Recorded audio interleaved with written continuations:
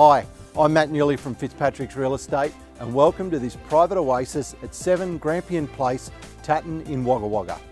Filled with natural light, yet private and secluded, this established Tatton home is a haven for quality family living. Enjoying multiple light-filled living areas with a flowing formal lounge and formal dining and spacious living room enjoying views of the garden.